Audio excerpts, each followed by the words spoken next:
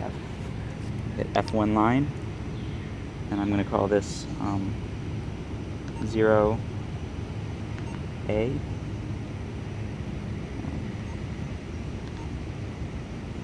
This Okay. is the first one. Trying again. So you Okay. do zero B now and Well, the first actually no, the first one was just zero, and I'm calling this one zero A because it was a zero was a mistake. okay. And we'll go to zero B if we need to, and Right. so forth.